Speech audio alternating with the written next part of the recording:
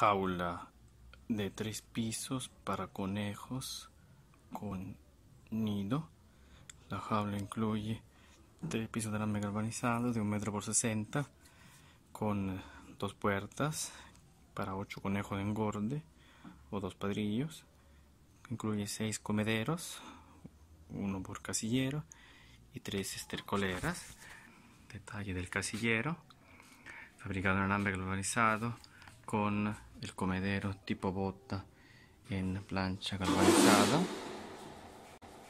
Acá está el detalle del comedero.